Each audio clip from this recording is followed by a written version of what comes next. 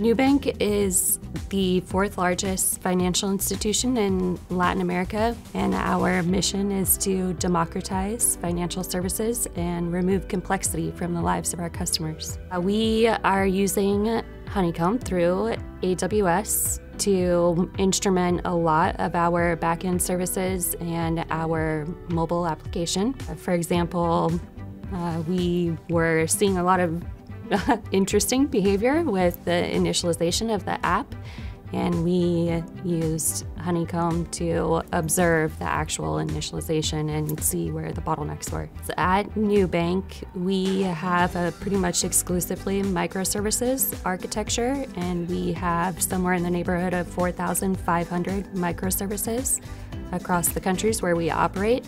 They're all running in EKS. We use Kafka for much of our inter-service communication. As a financial institution, we are subject to a lot of really strict SLAs. And recently we were able to use our partnership with AWS and Honeycomb to identify where precisely we were incurring latency that was causing us to violate one of those really critical SLAs. And so having that observability is really important for us in understanding either when we're approaching one of those SLAs or worst case scenario, breaching it. The partnership with AWS and Honeycomb has been hugely beneficial for us. We're seeing latency and improving the experience for our customers. And of course, that translates into better business outcomes for us.